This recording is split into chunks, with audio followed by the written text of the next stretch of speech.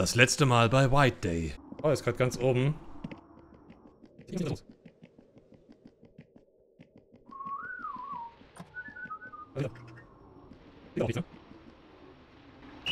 Oh nein! Was? Was? Der war eben noch ganz oben! Du willst mich doch aufs Kreuz... Das gibt's doch nicht!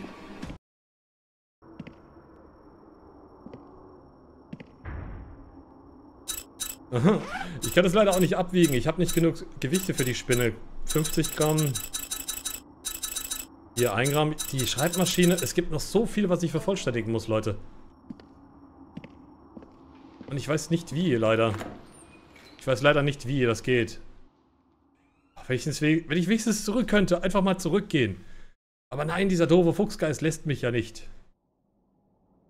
Ich sage vielleicht jetzt mit dem Glöckchen, ich habe keine Ahnung.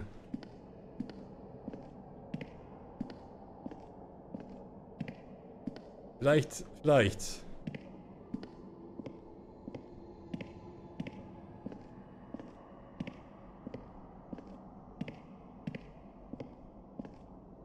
Die Kratzer sind weg. Äh? Ja, die Kratzer sind weg.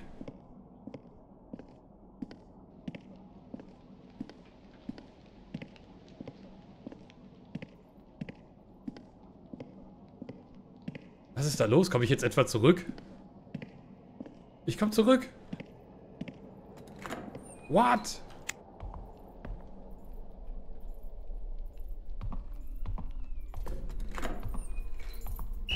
Wow. Direkt werde ich wieder von ihm begrüßt. Wie gut, ich komme wieder in die erste Schule.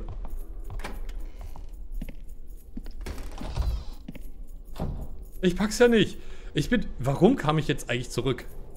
War das wegen den Glöckchen oder wie? Oder wie? Oder, oder wer? Oder warum? Und weshalb? Und ich weiß es nicht. Oder wie? Oder wie? Na komm schon. Du willst es doch auch. Komm rein. Sag Hallo, nimm dir einen Keks, du Arsch. Und dann lass uns drüber reden, wie doof du bist.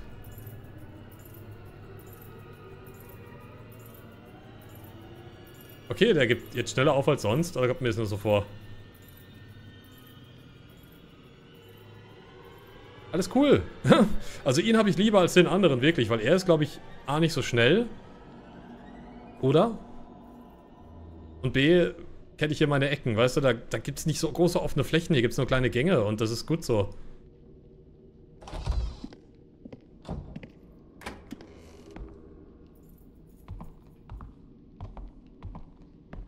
Ihr müsst jetzt da rein sein. Auf den Gang meine ich.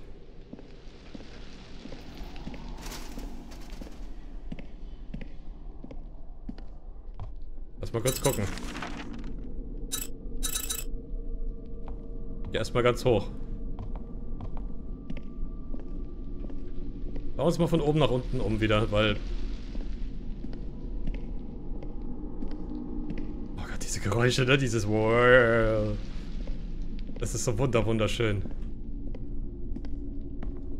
Wunder, wunderschön.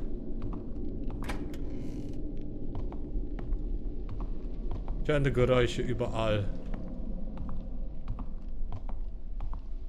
Eh, geh doch. Ach genau, bei ihm wollte ich noch was machen. Pass mal auf. Und zwar die Anatomiepuppe, wenn, wenn man da einen hohen Puls hat. Pass mal auf. Was unter anderem geht, indem ich die ganze Zeit eine Kniebeuge mache.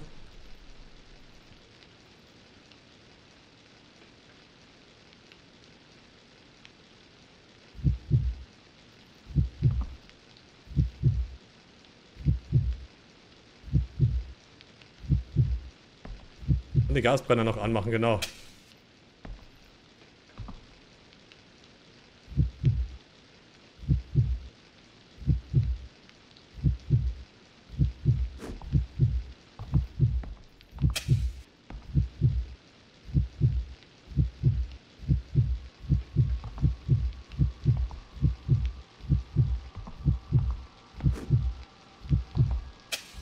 Passiert aber nichts.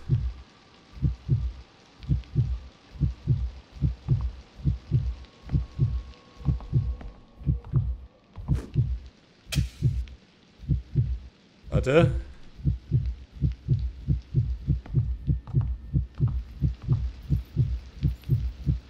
Oh oh.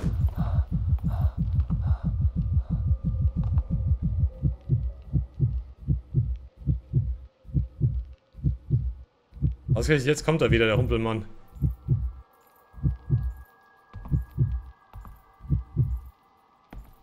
Nee. Okay, aber irgendwas war mit der Puppe auf jeden Fall, wenn man sich die ganze Zeit vor ihr auf, nieder, auf,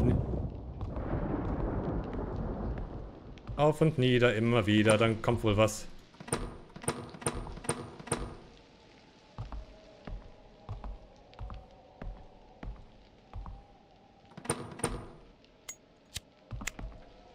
Oh Gott. Diesmal aber komischerweise nicht, ne? Kann das mal bitte anbleiben, das Licht? Dankeschön. Jetzt nämlich verdammt unheimlich mal wieder.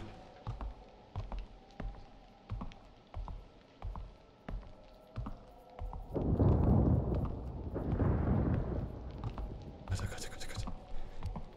Oh nein. Die ist schon wieder da. Nein! Nein!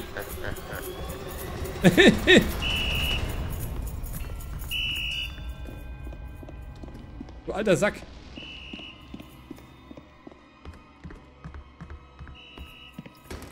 Ja, du kannst du viel pfeifen, wie du willst, du Pfeife. Ich komme dir.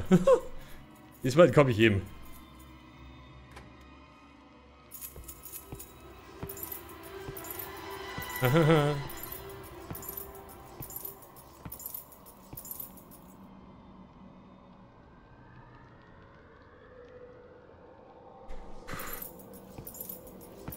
Der Humpelmann, ne?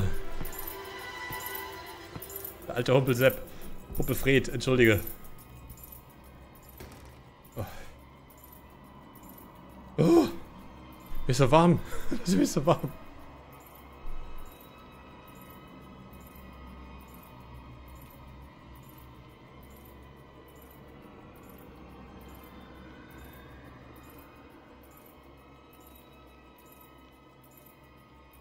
Geht er denn hin? Kommt er gerade wieder zurück?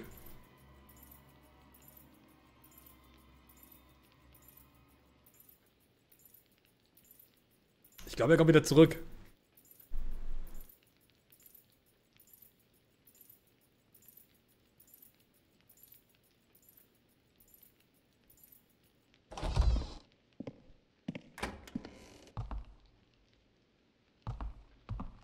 Okay, er ist auf jeden Fall runtergegangen oder hoch im Stockwerk.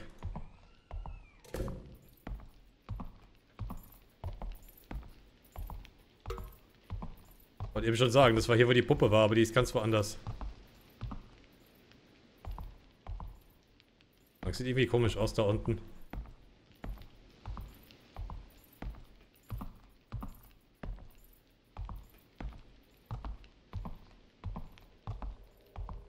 Das Klavier.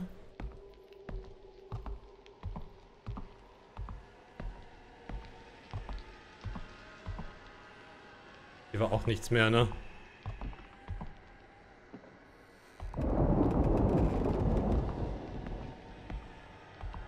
Kinder.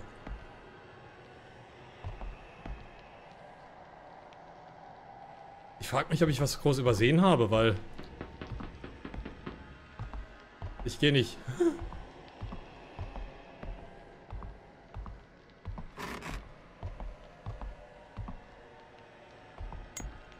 Warte mal, diese eine Diele hier vielleicht? Irgendwas, was ich machen kann. Ich meine, man sieht ja... Nee. Oh, oh, ich glaube, da kommt er.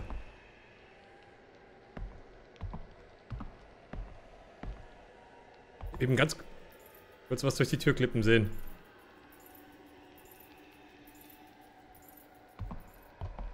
Aber er ist aber gerade unter mir.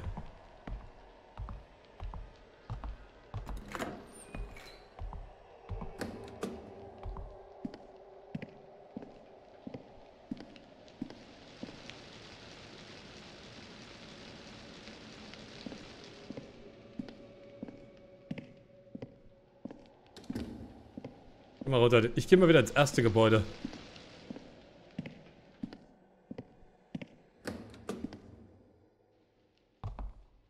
Könnte aber auch hier sein gerade.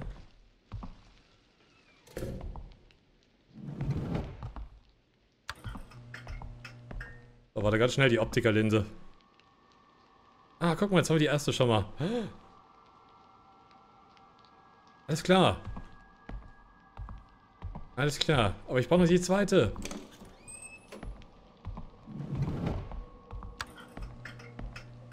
Würde ich die zweite Optikerlinse. Für ihn, glaube ich.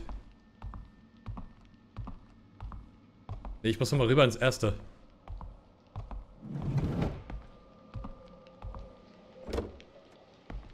Da gibt's noch mehr zu tun, Scooby-Doo. Oh, Gott, Kinder, mich juckt's überall.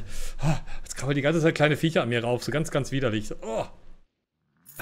oh. Nein, nein, nein, nein, nein, nein, nein. Das war Cheaten, Mann. Du warst nicht vor mir.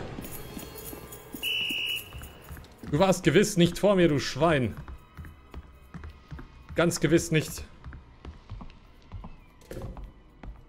Hat jeder hier gesehen.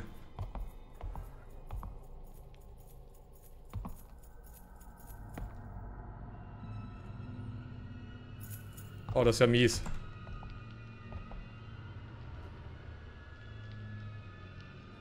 Oh.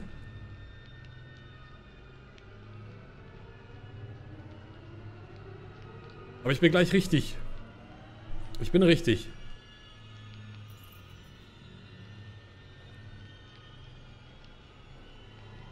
Habe ich alle fünf Mathematikteile gefunden eigentlich, oder? Ach Gott, wo sind sie denn? Fünf habe ich, sehr gut.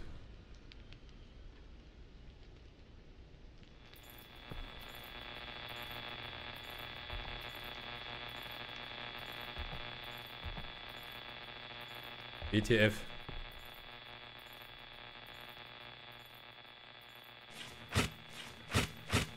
Ja. Irgendwas ist runtergefallen. Ah, eine nicht korrekt gelöste Gleichung. Oh, das ist nur eine Geistergeschichte.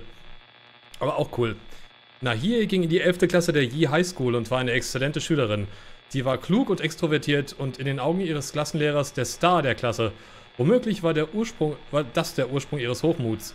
In Anwesenheit des Lehrers verhielt sie sich stets, als sei sie besser als der Rest. Ihre Klassenkameraden hassten sie dafür und mieden sie, doch Nahie war das egal. Mir doch egal, was diese Versager von mir denken, dachte sie sich. Nahie war stolz und sehr von sich selbst eingenommen. Eines kühlen Herbsttags unterrichtete ein Klassenlehrer Mathe in der fünften Stunde.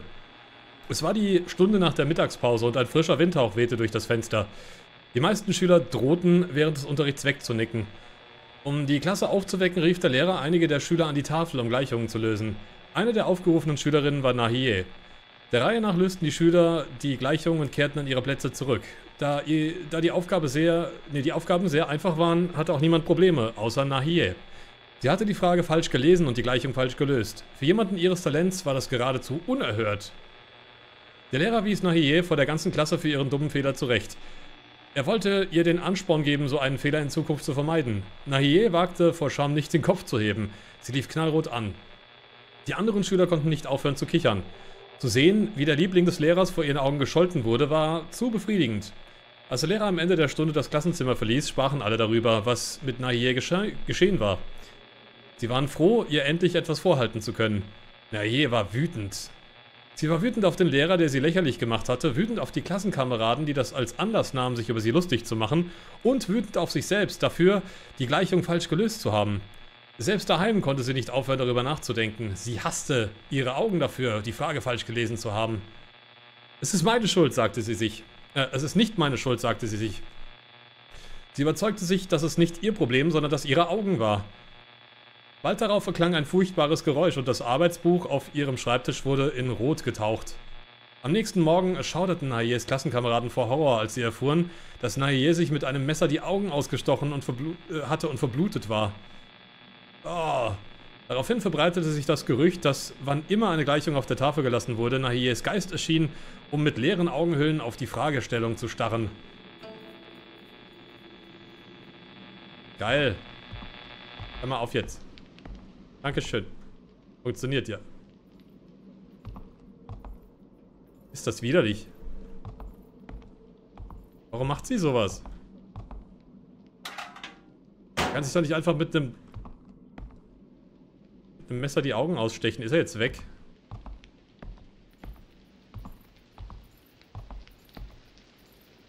Der ist nicht so gut. Und hier muss ich den Brief reinwerfen, ja? Oh nein! Was, von links? Wie kommt er denn von links?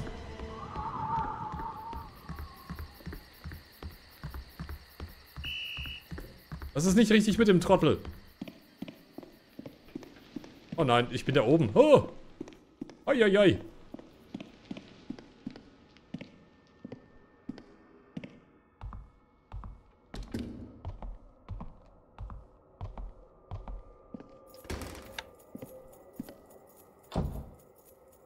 Warte mal, hier war auch noch was mit einer Damentoilette, oder? Warte mal, ich hab's mir aufgeschrieben. Oh Gott, das ist doch wieder nicht gerade wieder der Tipp.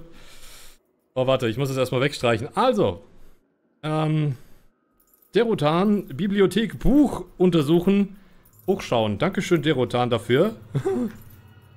ähm, Scary Bimke, Kniebeugen vor der Puppe, hat leider nicht funktioniert. Das mache ich vielleicht nochmal. Und Nerumite hat vermutet, dass man den Liebesbrief in der Box ablegen muss. Mal sehen. Ähm. Ah.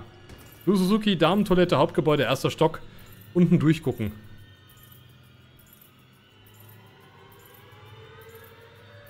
Das mache ich gleich, weil ich auf die Damentoilette darf, weil ich bin gerade bei den Herren, glaube ich. Zieh dich jetzt, Alter.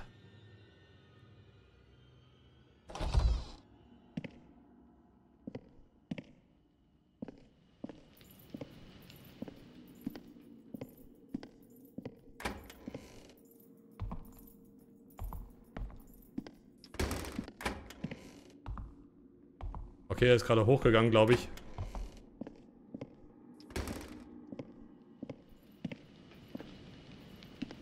Soll ich hier unten durchgucken?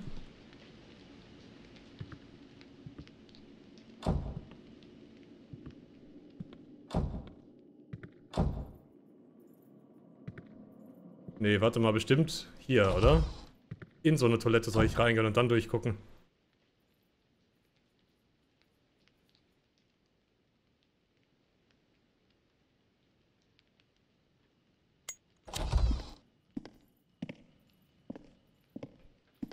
Bleibt das an, wenn ich... Oh ne, macht er nicht. Die Toilette ist es nicht. Vielleicht die hier. Ich weiß nicht, ob es eine bestimmte Toilette sein muss, aber... Da kann ich so scharf drauf, um ehrlich zu sein.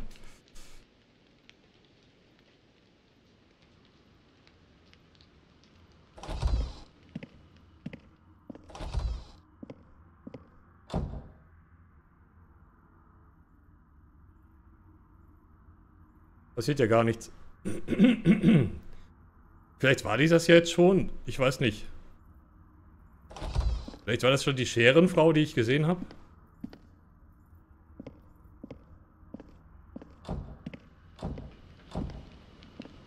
Oder vielleicht hier drüber gucken? Ich weiß ja nicht.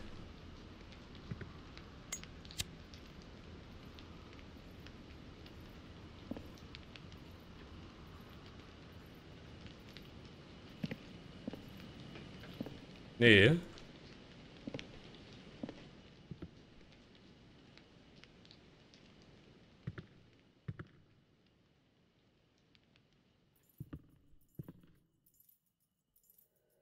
Nee. Kommt er da schon wieder?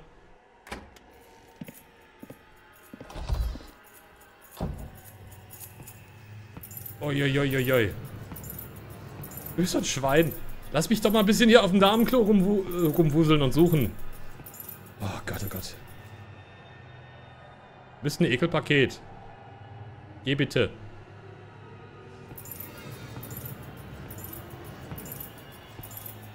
Ich frage mich echt, sehen die das nicht? Sehen die nicht diese ganzen Geister, die hier rumwuseln und machen und tun?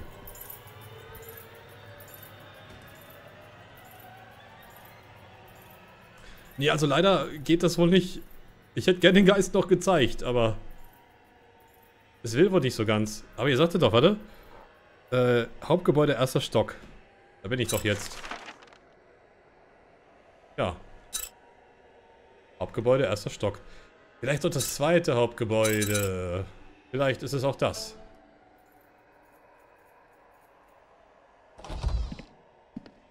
Ich habe mir jetzt nur aufgeschrieben, Hauptgebäude. Kann ich da eigentlich nochmal drüber klettern? Nee, ne?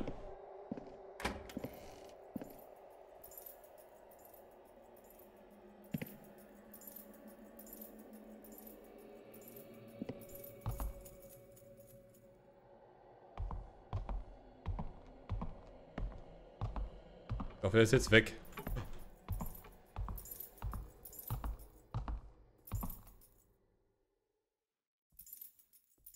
Die Tür zu bitte. Dankeschön.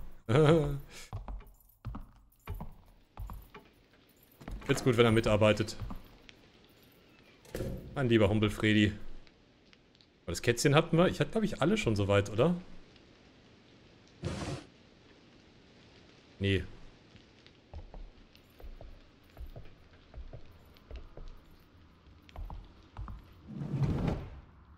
Und hier muss ich den Schlüssel kombinieren, dann haben wir das auch. Die Madness? Äh, eine Kombination aus zwei Schlüsseln. Der sieht aus, als würde er in ein kleines Schloss passen. Sehr geil.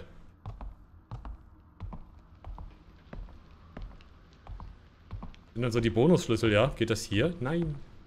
Nein. Schade. Wo war denn noch ein Schloss, das ich nicht öffnen konnte? Weiß es leider nicht.